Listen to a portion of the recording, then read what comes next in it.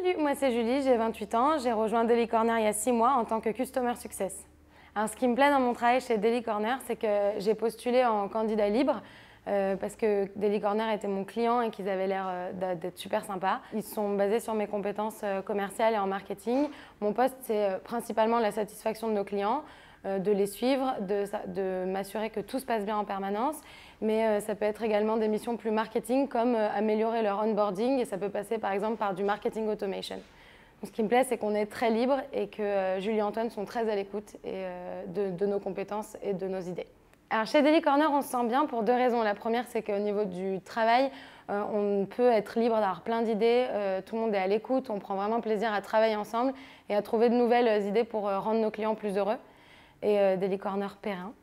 Et la seconde, c'est qu'on passe vraiment du bon temps à côté, tout le monde aime faire la fête, tout le monde est sympa et du coup, c'est un vrai plaisir de rester le soir après le boulot pour prendre des verres tous ensemble.